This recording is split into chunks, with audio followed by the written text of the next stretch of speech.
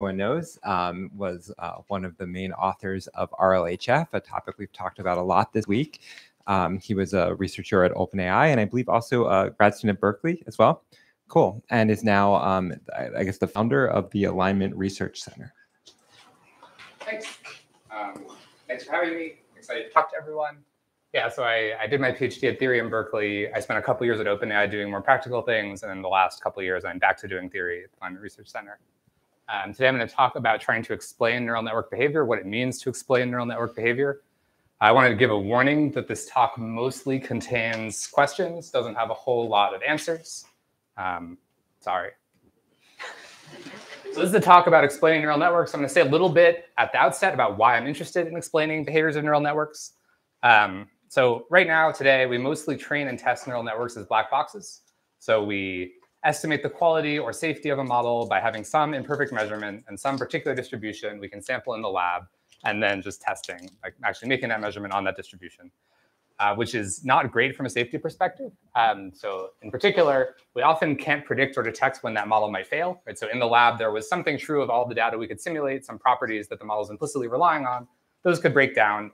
Um, and if we're treating the model as a black box, we don't really get to tell it's going to happen until we see the model actually failing which for high stakes failures is potentially not great. Um, slightly more subtly, if you have no idea how this model is working, you can't really distinguish the case where the model is operating as intended and your measurements are detecting that from the case where the model is just exploiting imperfections in your measurement.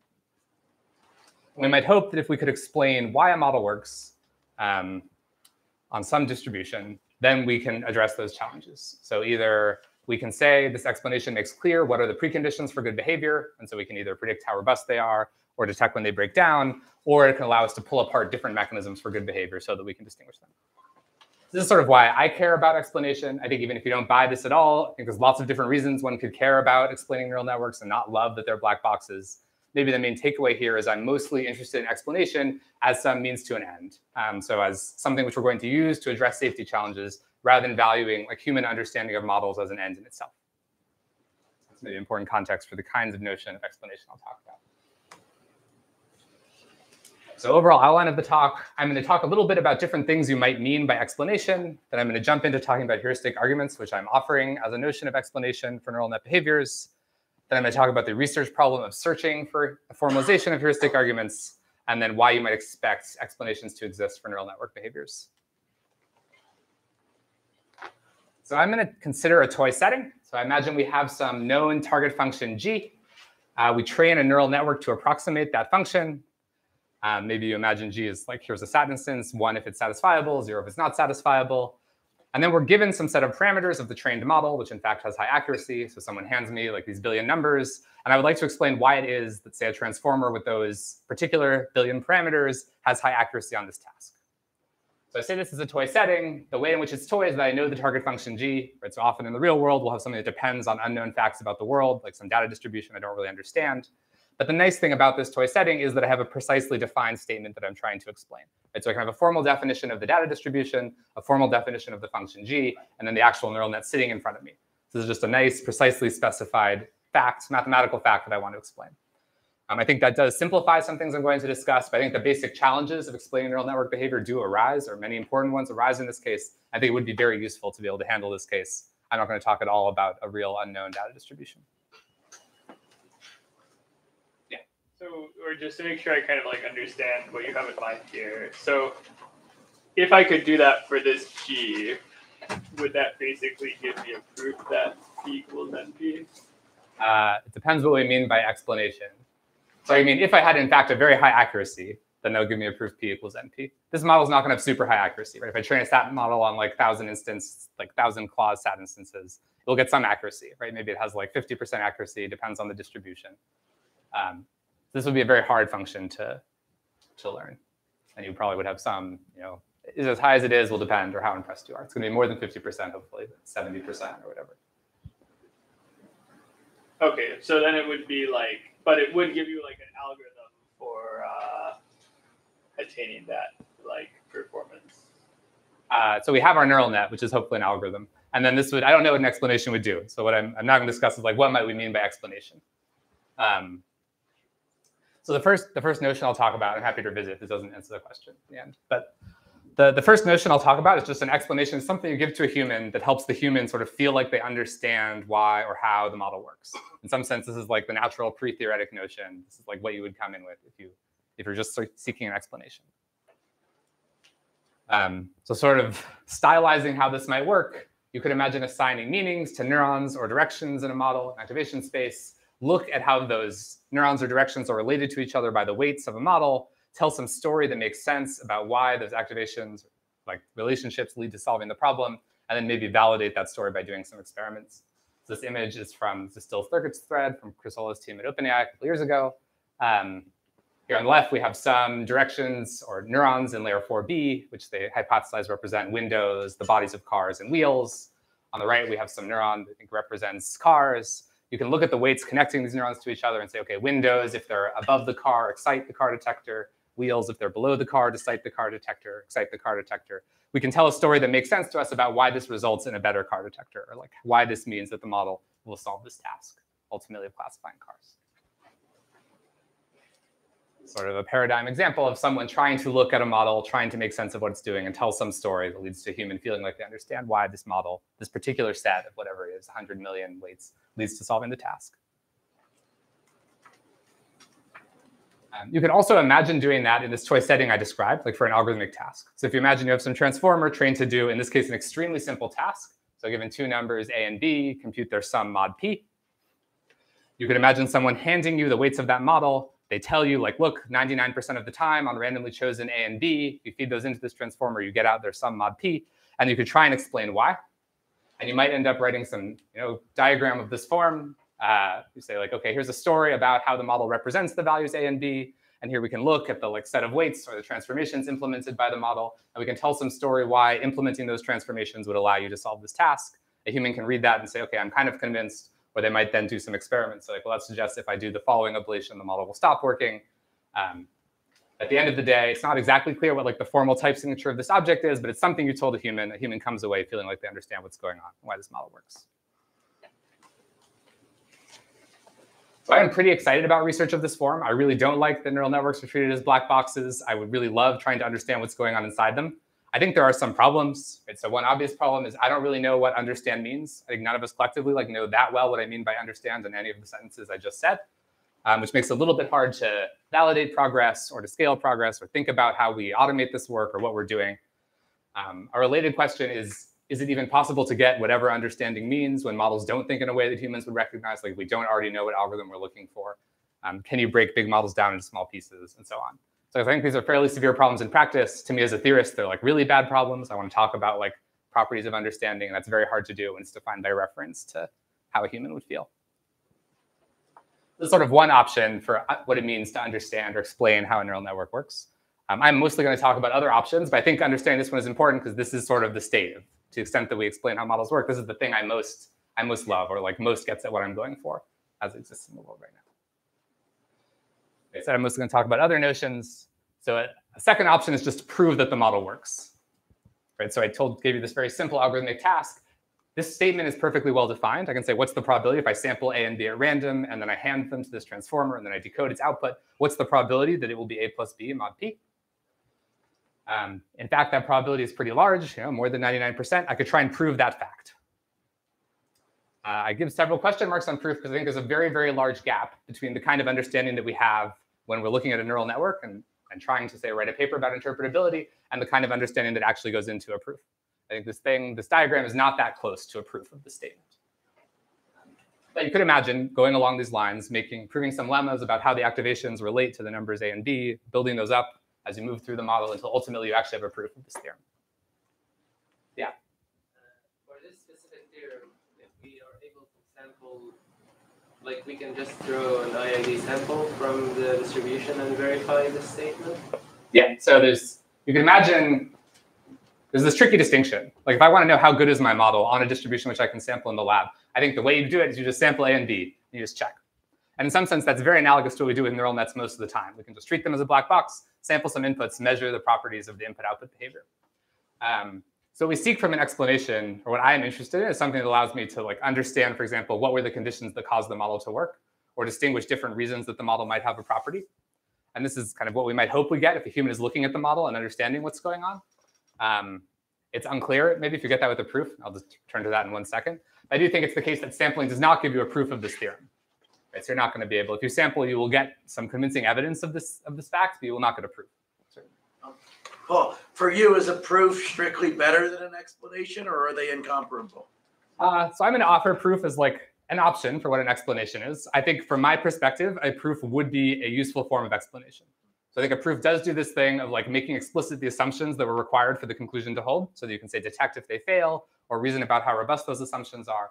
I think it's more subtle, but a proof does allow you to like tease apart different mechanisms or like understand some, in some intuitive sense why this happens.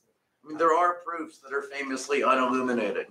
Yeah, so I'd say there's a question of illuminating to whom. Right. The proof is very illuminating to the proof verifier and not very illuminating to me Right, right. as a human. And so by moving from option one to option two, I have given up on humans understanding these explanations. Um, in particular, I think proofs of neural network behaviors, if we were able to get them, would be exceptionally incomprehensible. And so the proof of like a property of GPT-4 is going to be you know hundreds and hundreds of billions of pages, just number after number after number. Yeah. Usually you don't even know the theorem statement in these settings, right? So the time point of viewer. Yeah, so I, I agree. In this toy setting, I can say exactly what the property is. In reality, I don't know what exactly I mean. Um, like, what does it mean to say that GPT-4 has some property? Maybe a couple things.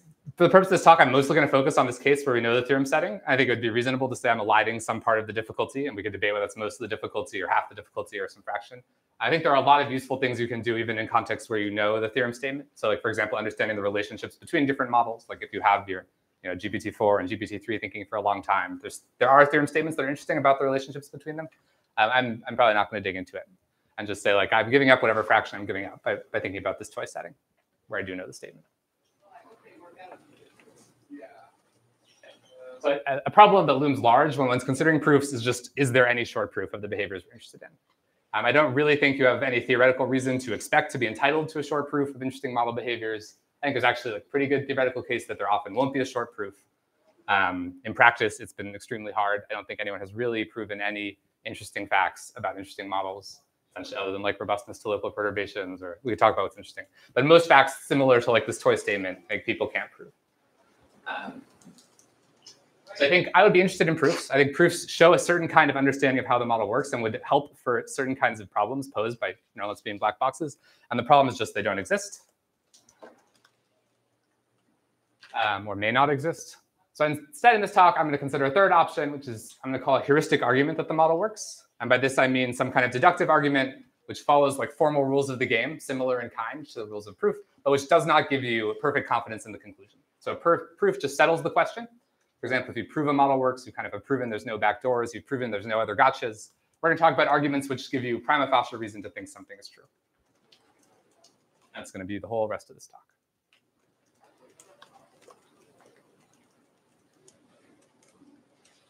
So I'm going to start by talking about an example, um, one of the simplest possible examples.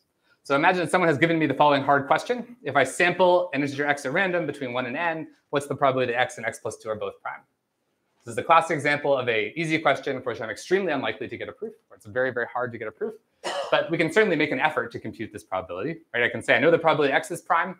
It's about 1 over log n by the prime number theorem. I can easily compute x plus 2 is prime with probability 1 over log n. I'm wondering about the probability that both of these things are true simultaneously. I have no idea. I don't know whether they're positively correlated or negatively correlated or what. But I could make a default estimate of just assume the correlation is zero, since I don't know if it's positive or negative, and call it 1 over log squared n. A claim I'm going to make is this gives you a good first pass reason to guess 1 over log squared n is the answer to this question.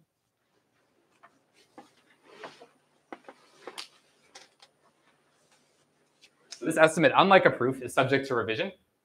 I'll say defeasible. So for example, if I notice facts about the relationship between x is prime and x plus 2 is prime, that will change this default estimate. Unlike a proof, this was just a default that I can move from. For example, if x is prime, then x plus 2 is almost certainly odd. So the probability that x plus 2 is prime is actually about 2 over log n. The probability that a random odd number is prime. That's a better guess than 1 over log n. So 2 over log squared n is a better estimate than my original 1 over log squared n.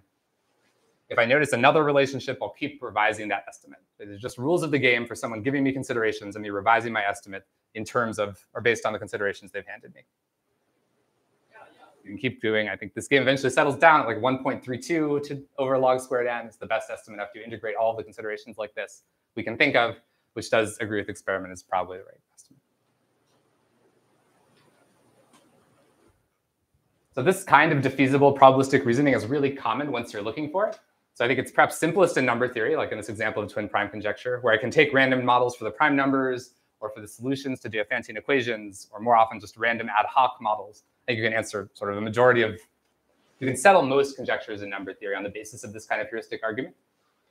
Um, physicists are in the business of computing things that they can't prove. It's not just because physicists are lazy and don't like writing down proofs. It's because the kinds of methods they use actually often don't correspond to proofs. They correspond to reasons to think that the estimate is one way or another which could be overturned later, and on rare occasions are overturned later. Um, if you have some complicated dynamical system and you want to reason about it, the way you reason about it is often by treating what is even a deterministic system as stochastic and using this kind of independence assumption.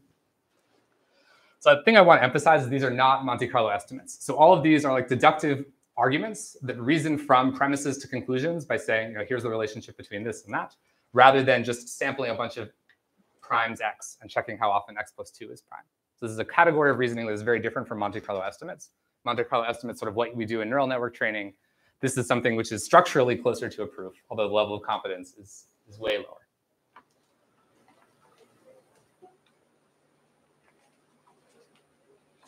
So if you look at all these arguments, like the kinds I mentioned on the last slide, they tend to share a lot of common structure. So you can cast them as basically deductively valid arguments that treat unknown quantities as random, even if they're deterministic and that use some simple heuristics to estimate the expectations of those quantities.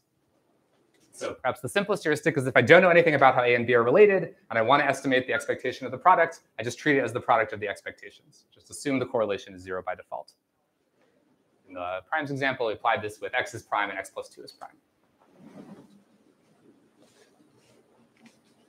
A slightly more complicated heuristic is that if I know about some factor z, which is related both to A and B, for example, suppose I know the co covariance of Z with A and I know the covariance of Z with B. Rather than assuming that A and B are independent, I can assume that the residual, if I regress onto Z, is independent. So I can say, suppose Z is one consideration that drives the relationship between them. I don't know if you really want to be able to verify this equation, but I'm saying the covariance between A and B, a good default guess is covariance of A with Z times the covariance of Z with B divided by the variance of Z. Um, so this is what we did in the case of the prime number theorem with the, with the intermediate z being x is odd, because we understand how that z drives both the primality of x and the primality of x plus 2. So the nice thing, or like a suggestive thing about like these estimates across many domains is they seem to use just a few simple heuristics of this form, especially this bottom one. Those suffice to get reasonable best guesses in a really broad range of domains. And this leads to the following conjecture that motivates our current work, that all these heuristic arguments are instances of some simple general formalism rather than a bunch of domain-specific tricks that work well in practice. That is, it's not the case that there's a magical fact about the prime numbers, that the prime numbers behave as if they were a random set. It's the case that there are some general principles of reasoning, which, if applied to the prime numbers, yield these estimates. So by analogy, logical deduction is a simple formalism that's very broadly applicable when you're reasoning logically, the hard part is like finding proofs. The hard part is not verifying that a proof is correct. We hope the same thing will be true here, right? That this reasoning across many domains can be unified in a single simple formalism. The difficulty is finding arguments, not verifying arguments.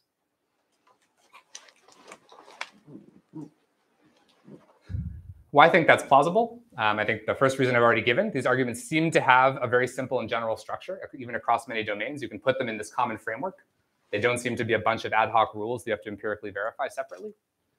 Another important point is they seem to work by default. So the story seems to be often these arguments go wrong, but when they go wrong, it's because there is a specific reason that they should fail. For example, you would incorrectly estimate the probability that x and x plus 2 are both prime, but someone can point out to you the structure that you missed. And you can approach the correct answer as you notice more and more relevant structure. Do you necessarily mean like interpretable structures to human? Uh, I basically only mean structure for which you can calculate. And so somehow you've recursively estimated something about the relationship between A and Z and Z and B. And then you may have no understanding of what C is, but it is simpler and they are able to compute these relationships. Okay. So I don't mean I don't mean structure that makes sense to humans. I only mean structure that makes sense to the rules of this game. I see. I see.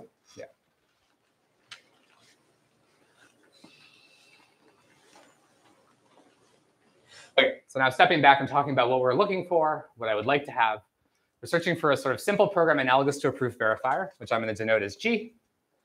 which takes as input some formally defined quantity x, you might e.g. the twin prime density or the accuracy of some neural network on some distribution, a set of observations or arguments that are relevant to estimating that quantity x. Imagine these is like someone points out if x is prime, x plus 2 is more likely to be prime. Someone points out a pattern in the weights of a model or about the activations of a model.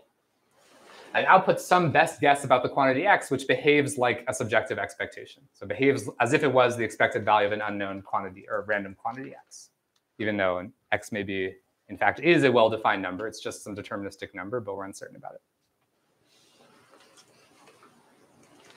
If we had such a G, then we could cast this goal of explaining neural network behavior as finding some pi such that it causes G to be have an accurate estimate of the accuracy of your neural network, or whatever property you're interested in explaining. Or we're saying, how is it, what does it mean to explain the fact that f theta and g agree?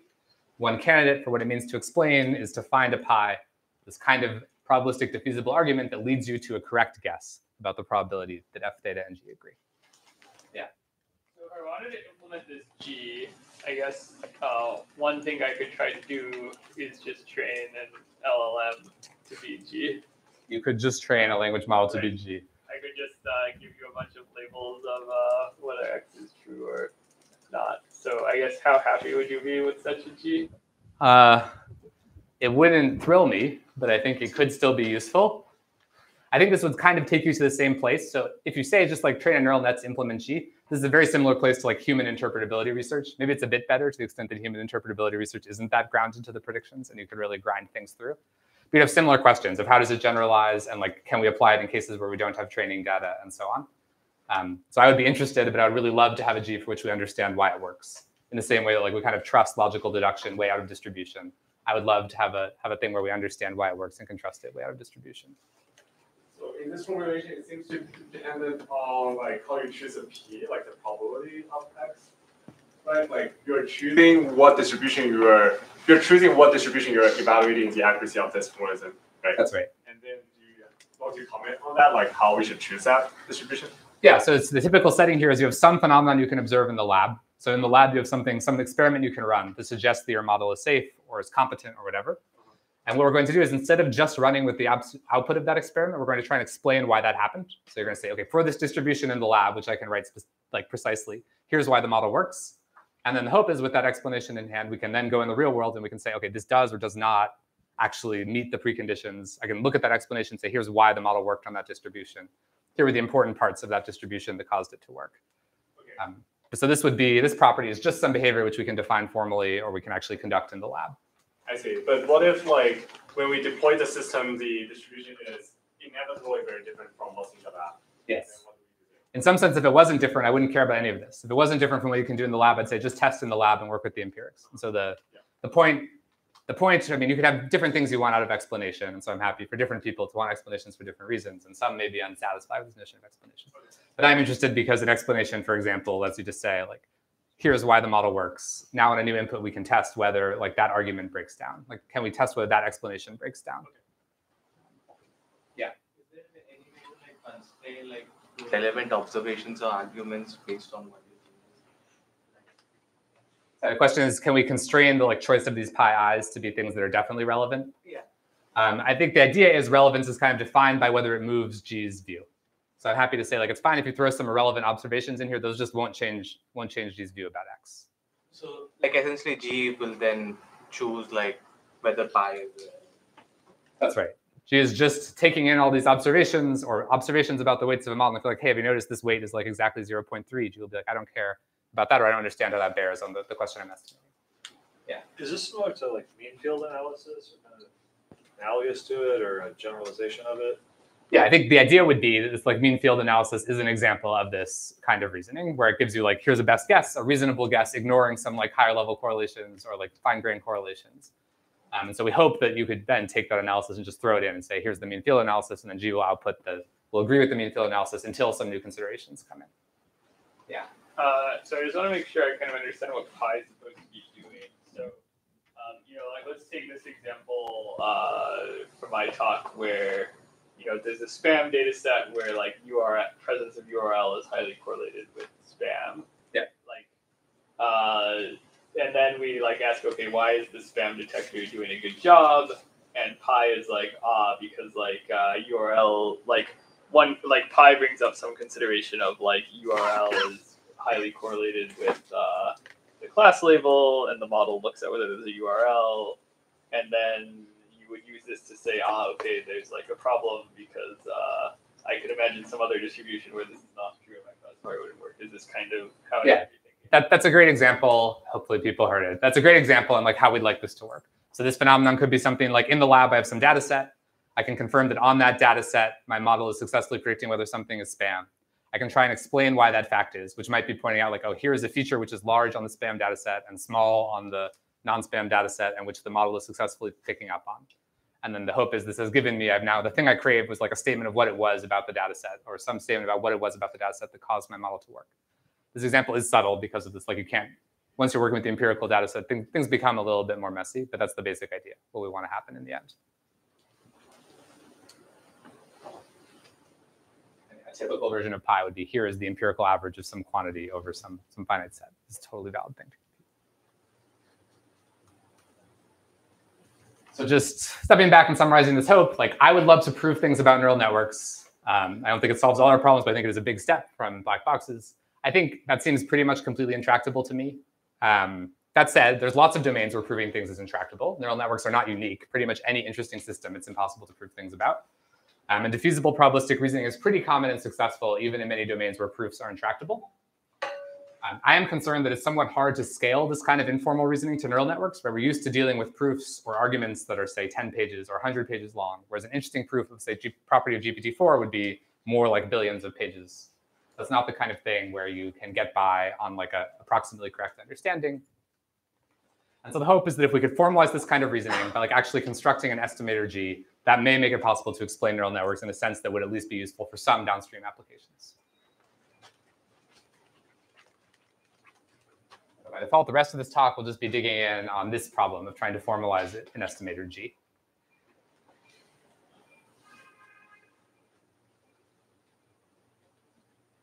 to take any other motivation or like, why are you even talking about this questions at this point? Um, we'll just be moving more into the weeds now.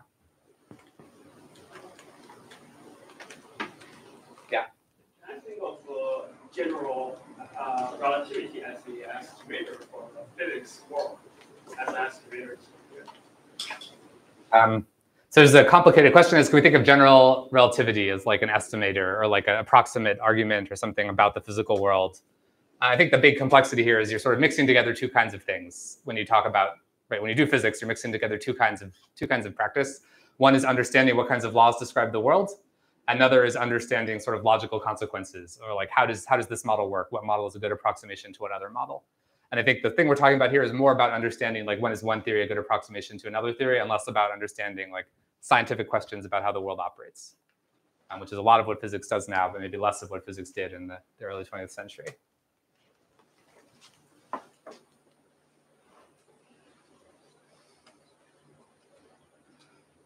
And I'm going to talk about the problem of searching for an estimator. Um, so roughly speaking, our goal right now is searching for some simple program G, analogous to a proof verifier, that formalizes existing informal arguments, satisfies natural coherence properties, and formalizes something called a no coincidence principle, um, which is roughly going to be why we expect it to be possible to interpret neural networks. I'm going to talk about these in the rest of the talk.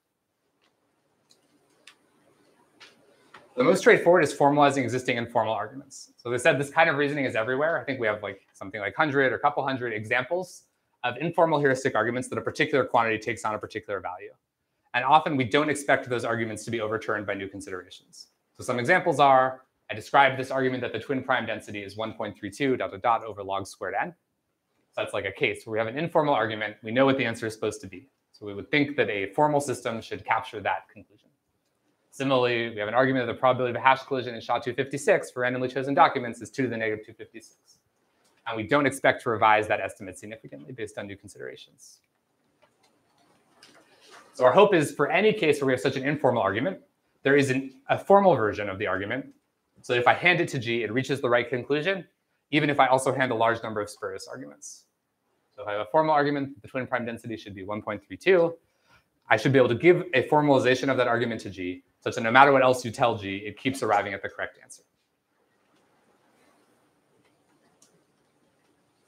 So I would be very happy if we could define such a G. And if you had such a G, you might hope that then you could take informal arguments about neural networks and also submit them in the same way to G and get reasonable conclusions that match the kinds of conclusions a human would think are justified from those arguments. Are you assuming that C is the true answer here? Uh, I think we often don't know. It's just like cases where it would be a big deal to notice that C wasn't right. It's like for the twin prime conjecture, I don't know if the real density is 1.32, but it's like I would be a famous number theorist if I had a reason to think it was anything different. So whether or not it's the truth, I think it's the answer that, that G should come to.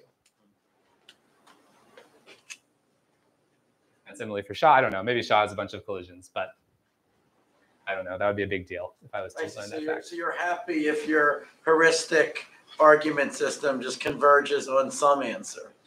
Uh, yeah, I think we have some intuitions, and we'll talk about coherence properties. I think we have some informal. The, the reason I'm motivated to explore this is because we have some informal examples that seem very accurate in practice, or like surprisingly effective in practice, um, and feel intuitively valid.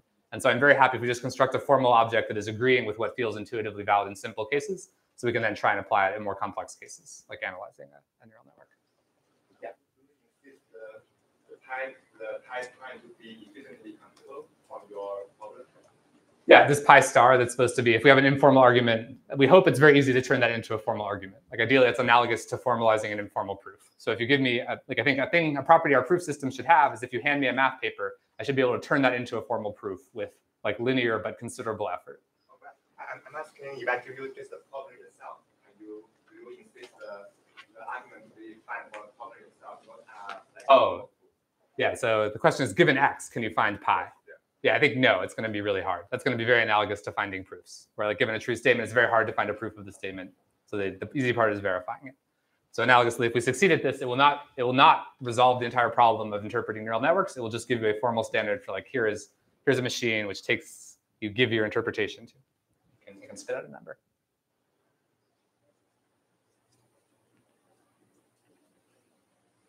So I'm going to talk about an example problem to ground a little bit of the, the rest of the talk. Um, so for a matrix n by n matrix A, we can define the permanent as the sum over permutations of the product of the entries on the assisted diagonal. It's like like the determinant, but drop the signs. Um, estimating permanents is very hard. Uh, even approximating permanents is very, very hard. But it is possible, given a matrix, to make all kinds of informal, intuitively valid heuristic arguments. Um, for example, if I know the average value in each row, well, the permanent is just a sum of n factorial terms, one per permutation. Each of those terms is a product of one entry per row. So if I know the average value in each row and I multiply those, that gives me a reasonable estimate for the contribution from a random permutation. And if I multiply that by n factorial, I get some kind of estimate for the permanent of a matrix. So this can be either justified from the kind of simple reasoning rules I sketched out before. This is basically one application of that basic presumption of independence heuristic. You can also check that if you feed in like random matrices, this thing is going to have lower squared error than guessing zero or whatever. Analogously, if I know the column averages, I can get an estimate that way. If I consider some finite set of permutations over which I can compute the sum, so the permanent is the sum over all permutations. If I take that sum over some finite set of permutations, that also gives me a reasonable best guess estimate for the permanent. So all of these are quite bad estimates in the sense that they will only reduce your error a little bit compared to just guessing zero. Um, but they are intuitively valid and in fact do reduce your error if you're trying to guess a permanent on a random matrix. Did you mean to scale your perm as the value by an appropriate scaling factor? Uh, no. No. So the permanent is just the sum over all permutations. I'm kind of just taking a subsum, a subset of the terms in that sum, and then I'm dropping every other term as zero. Uh, all right, fine. So you could instead scale by say, consider how many of the terms I took. If you do that, you'll actually get a much worse squared error than just outputting zero. Okay. Um, so it's actually not correct in this case to scale it up, Fine, fine, all right. which is a bummer because it's like the permanent's like two to the million and you're giving an estimate of like 17. Yeah, it's not a great estimate.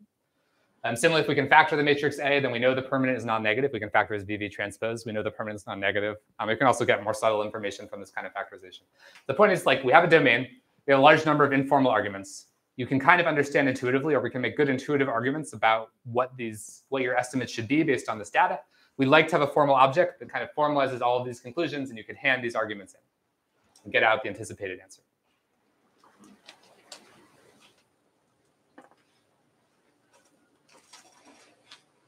So part of this, we want we want to find this G which captures like reasonable best guesses based on the arguments that have been supplied. Uh, we expect that a reasonable G should satisfy a bunch of very simple coherence properties. So if you're talking about your best guesses, one property they ought to have is they should be linear. So if I ask G to estimate like what's the sum of f of x over every x, I should get the same answer as if I go through each x independently, ask G to estimate f of x for each one and add those up. This is like a very natural property. Obviously, expectations satisfy this property. Um, it's reasonable to expect best guesses to satisfy it. This is actually an incredibly stringent property. Um, so trying to do this while capturing informal arguments is very, very hard. Um, it's also a fairly important property in the end for applications to neural networks. So if you don't, if your G doesn't have this property, it's much harder to do anything with it. It doesn't give you the notion of explanation, which I want. That shouldn't be obvious. Similarly, we think that the notion of heuristic arguments should generalize the notion of proof. So if I have a proof that a quantity x is greater than c, then no matter what else someone tells me, so for any other pi prime, I should still estimate that x is going to be at least c. If I have a proof that x is more than c, it would be bad if my estimate for x was less than c. That would be like a violation of being intuitively reasonable. We can go on like this, where you can write down a bunch of reasonable properties. Here's some iterated expectation property that's just exactly analogous to a property that holds for conditional expectations, which we would like to hold if we're going to interpret this object as like a subjective expectation. So I've said one of our desiderata was trying to capture informally, informal, intuitively valid arguments. Another desideratum is trying to match this kind of coherence property. So try, I think, in fact, we cannot find any function g that satisfies these three properties. If you make these properties a little bit stronger, you can prove that it's impossible. But a simple question itself contained is just, is there a g that satisfies these properties? And a lot of our time is seeking such an object. So is this like this is like an open mathematical question? That's right. Constructing some polynomial time computable G, which has the following three properties. Oh, wait, sorry. This is like not formal though, because we don't know what pi is. You're allowed to choose the type signature of pi. It just has to be a superset of proofs. So if I took pi to be proofs, then couldn't I do this with is any theorem? Uh, so this will, you could try and take pi to be any proof, but then you still have to define like Suppose I have a proof that the average number of primes is 1 over log n, or like I have my proof of the prime number theorem, that the fraction of numbers that are prime is 1 over log n. I then can still ask, g, what's the probability that one of like x and x plus 2 are both prime? And those answers are going to be constrained by linearity and by iterated expectations. And so if I take the constraints just from uh, getting the answers to proofs correct, plus the constraints from linearity and iterated expectations, it's very hard to meet all of those properties at once um, but not so hard we can show it's impossible. In fact, we think it's possible. We can't find like a counterexample. These properties are kind of been calibrated just to the level where it looks like they should hold. Probably the space of valid pi is going to be larger than the space of proofs, but you can take it to just be proofs.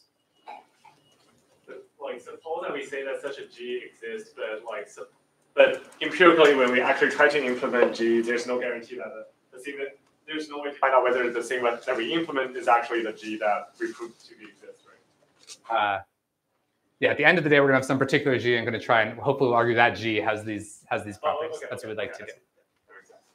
And then we would use this as part of this uh, downstream.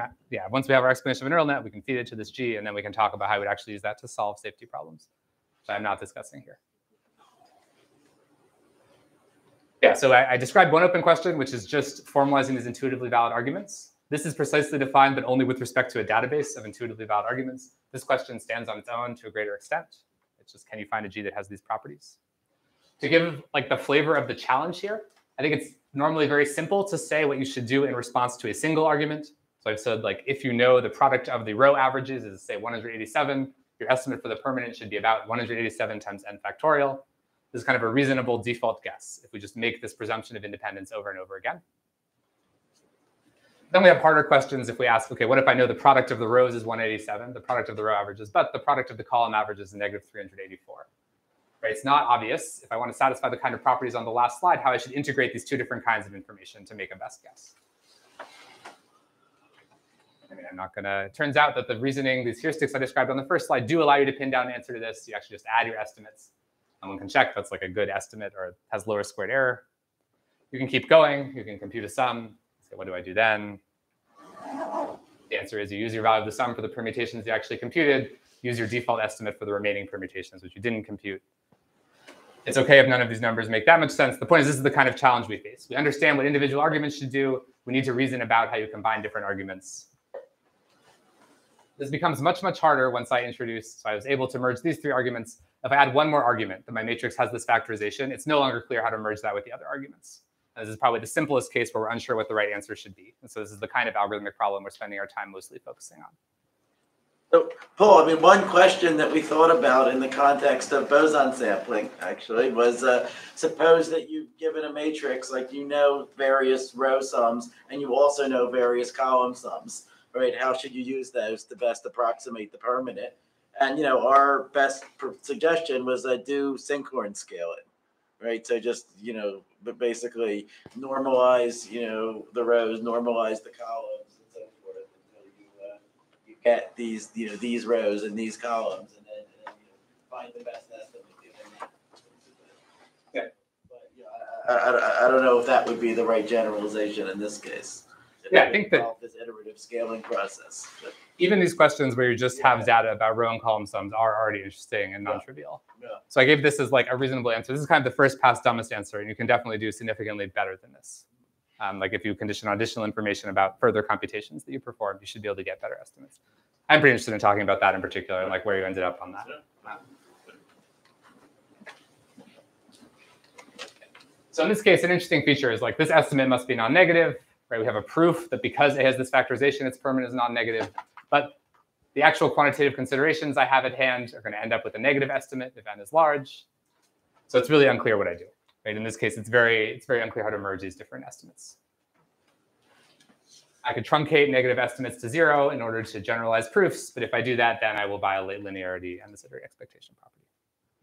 Again, it's okay if this slide mostly just kind of seems like numbers. This is the flavor of challenge, though.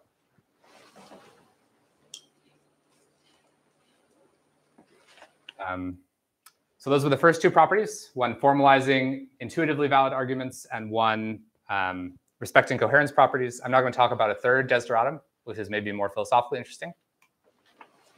This comes from a paper Gowers wrote earlier this year. He proposed this principle that if an apparently outrageous coincidence happens in mathematics, then there is a reason for it. So for example, if you were to find that at some point there stop being twin primes, there are only finitely many of them, then the claim is that's an outrageous coincidence which would demand an explanation, because there would have to be something someone could tell you about why there are only finitely many twin primes. Whereas the twin prime conjecture does not demand an explanation. That's just a very obvious natural thing to happen. This is a totally informal statement, but I think it's actually a pretty convincing empirical regularity. So it has often been the case in the history of mathematics that people discover that something that appears like an outrageous coincidence happens, and then the mathematicians set to work trying to understand why. Like, why is this Fourier coefficient the same as the size of this group representation? And pretty much always we end up with an understanding that makes sense.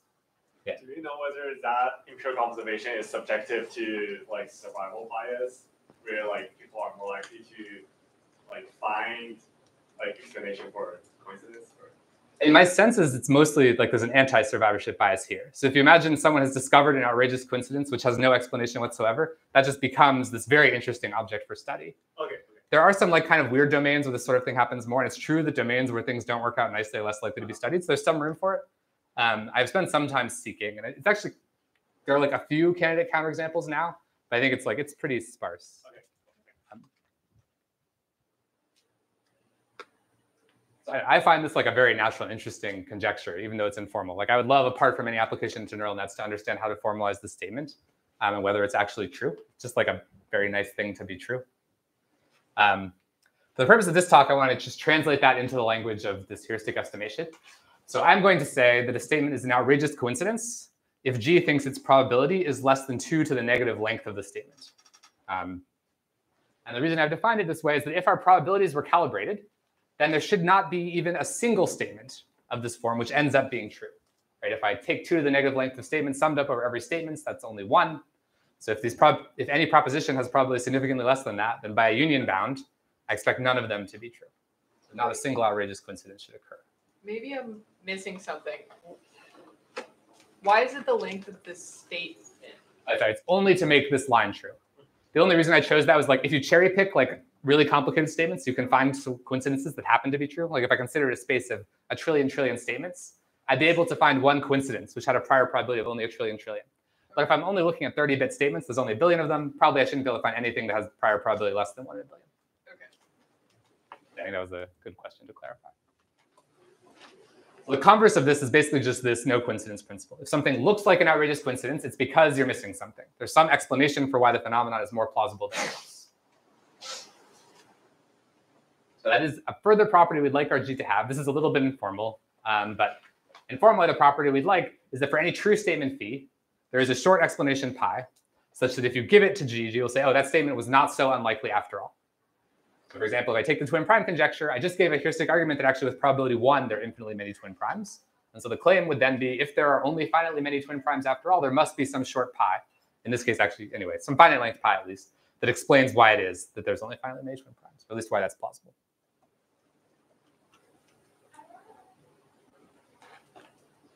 So if we apply this principle in ML, Imagine that we have some model that just has perfect accuracy on some distribution. So for every x, f theta of x is equal to g of x for every bit string.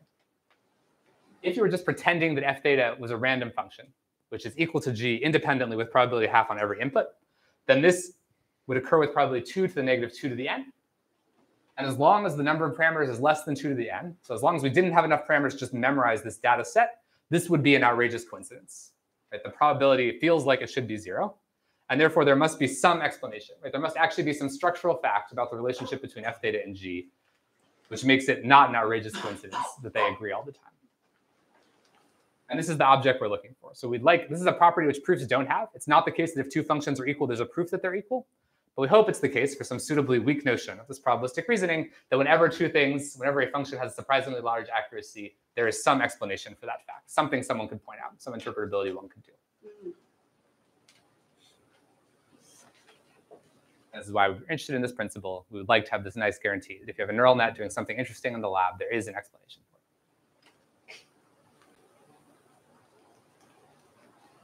it. Okay, so for the last five minutes, I'll just talk about a theoretical problem, sort of another implication of this principle, um, which I think I find quite interesting and stands on its own. So here's another kind of outrageous coincidence. Suppose that I have a circuit mapping two n inputs down to n inputs. We'll call an input x as zero if on input x, c of x is all zeros. So for a random function, you should have about 2 to the n zeros. Right? You have 2 to the 2n inputs. Each of them has a probability of 1 and 2 to the n of being all zeros. Again, if you believe in this no coincidence principle, it should be the case that you never have a circuit with no zeros unless there's an explanation recognized by G. This is analogous to our hope that there should never have a neural net with surprisingly high accuracy without an explanation that's recognized by G. So this leads to the following problem that I, I find very interesting on its own terms.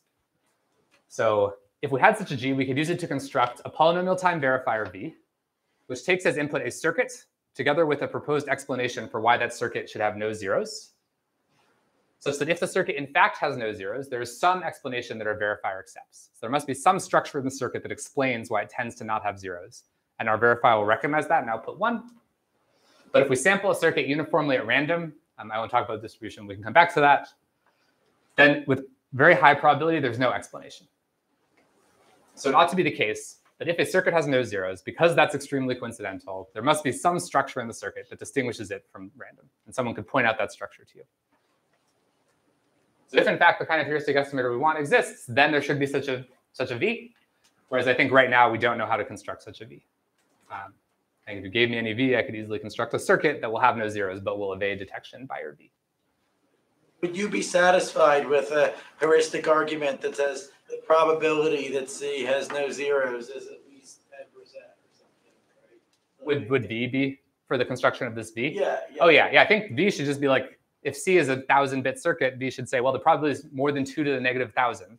And then that's enough. Because if you don't do that, you're going to get wrecked by a coincidence, right? This first statement was existentially quantified over every circuit. So V needs to be very, very conservative. Um, yeah. Anyway, so this is for the theorists. This is a problem I'm very interested in. I find it, like, again, apart from the application to neural nets, it seems like it would be very interesting to find such a V. And I think it would capture a lot of the difficulties we're interested in here. Um, so I'd be happy to talk about it. Yeah. Sorry, so does, what's the order of the quantifiers? Do I, does the person need to know what V does and then I pick the circuit? That's right. So we're looking for a V which has this property universally quantified over circuits. So the way the game works is you come to me with a proposal for V, and then I get to either exhibit a C which has no zeros, but which your V doesn't recognize any proof, or I get to exhibit a strategy for producing proofs for random circuits that succeeds with probability more than 1%. I would be very excited if someone could win that game. Um, and we are trying to win that game. This is one of the, one of the things we're up to.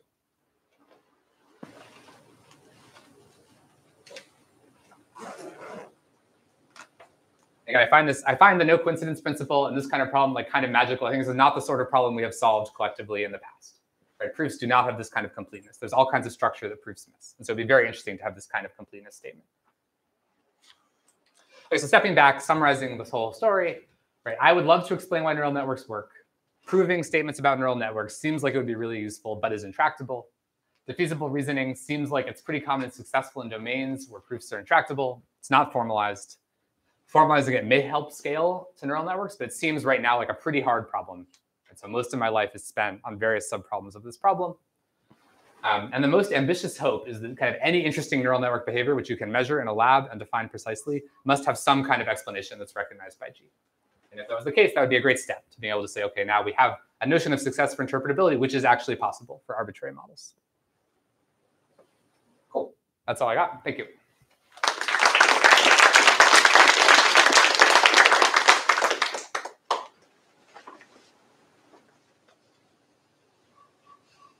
So I guess going back to G being a neural network, um, let's take, yeah. So can we look at maybe go to your conjecture?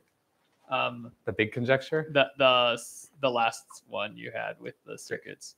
Right. So I guess I'm wondering, like, uh, is there a way to kind of set up some sort of like generator discriminator, like some sort of like kind of like pair of adversarial networks that are basically trying to do this? Like, do you think we could just test this empirically with?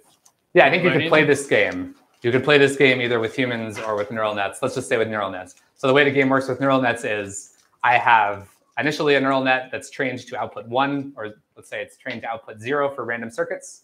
So for any random circuit in any pi. Then I have an adversary who's trying to produce circuits with no zeros. Um, this part is hard to play because determining a circuit has no zeros is obviously very intractable you could imagine that the adversary, I don't know. I actually don't know how you set up the game because I don't know how you get circuits you know to have no zeros. But if you imagine you had such an oracle, then you could play this game. Okay, I see. So you need some sort of oracle to do that empirical experiment. That's right. I think morally you could do this experiment with a property like this neural net has accuracy 90%. And the reason you can't do that is like under standard, standard de-randomization conjectures, you could do this in a kind of cheaty way. It doesn't feel like an explanation. The reason we've chosen a thing that's hard to hard to do. It's like less like what we care about, but it does give us a crisp complexity theoretic implication. And that's why the slightly unnatural setting of zeros. Maybe missing things here. I'm, I, I guess, uh, is there a place somewhere here for the structure of the data? Uh, in, in terms of that, you know, if you if your data is random, for example, the behavior of your neural networks is going to be completely different and probably nothing is really going to work. So where does the kind of the structure of the data comes in? The natural, you know, the natural image manifold or text manifold or something. Yeah. So the idea is, at the end of the day, what we want to do is like find an explanation for why a neural network works on some distribution. And we could also take an empirical distribution or a finite set of data. And properties of the data distribution, either one that's formally defined or one that's defined by a bunch of examples, will be relevant to that explanation. So your explanation might say, hey, look at all this data. The reason your model works is the data contains the following regularity. Um, and then because of that regularity and the way that it interacts with the weights of your network, the outputs have property P. So the idea is properties of the data set will appear as things that are referenced by this explanation. But shouldn't it also appear somewhere in the, where you compute your coincidence? Because that, shouldn't that be dependent on the data? Yeah, so in some sense, we've defined outrageous coincidence just in terms of what G says. So something's an outrageous coincidence if G thinks it's really, really unlikely. Got it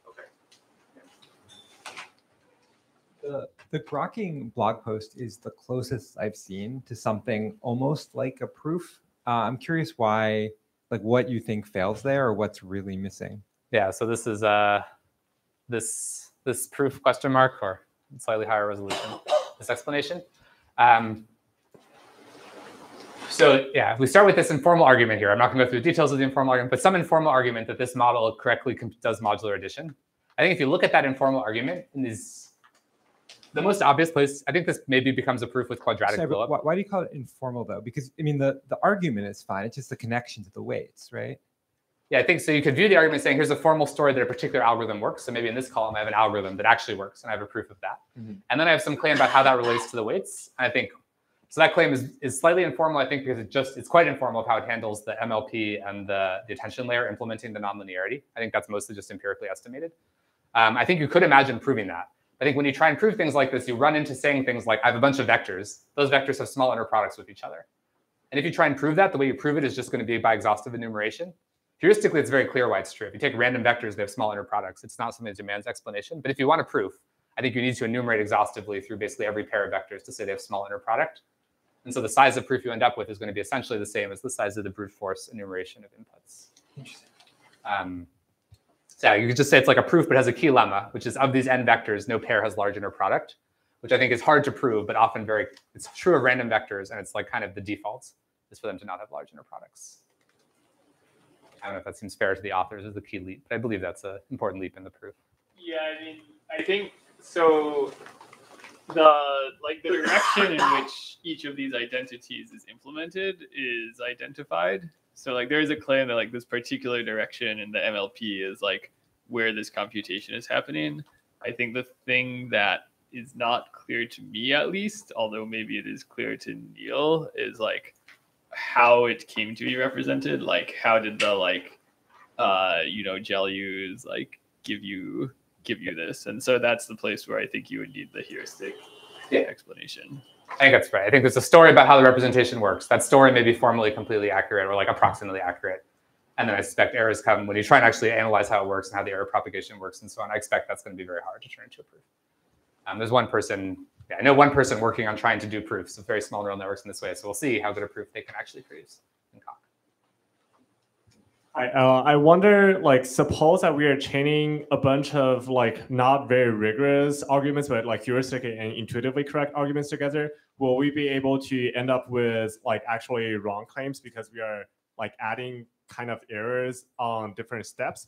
Uh, and then uh, as a result, suppose that we are searching for such a proof, then almost for every kind of statement we can try to justify it with a bunch of uh, like informal arguments. And if that's the case, then like do we have to so say for example prove that G is only unique such that we can avoid such situation, or like what do you think is a general strategy to mitigate that?